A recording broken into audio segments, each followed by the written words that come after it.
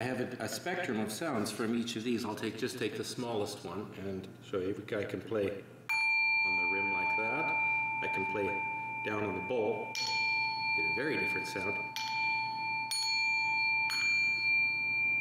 You can kind of choke the sound a little by playing inside. You can also do something called a singing bowl sound.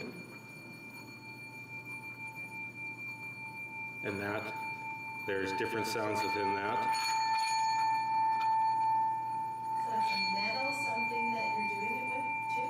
No, this is a, it's a wooden stick. My legs here. So we've got the singing bowls, which I'll, I'll play as bells, and I will do some singing sounds with them as well. And I don't know if, uh, if I feel like it, we may move into a little bit of percussion. I've got a, a small djembe here. We are going to uh, begin, as we always do, with a couple of deep breaths in through the nose and out through the mouth,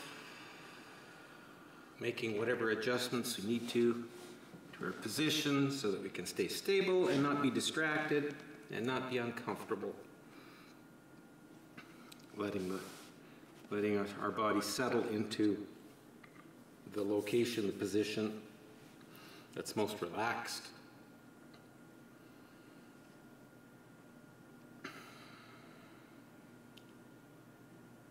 And another neat deep breath in through the nose, out through the mouth. I'll play one bell, and we'll let that ring, and then just settle into whatever sounds we hear. There's, of course, the sound of the room, but there'll be the sound of the bells.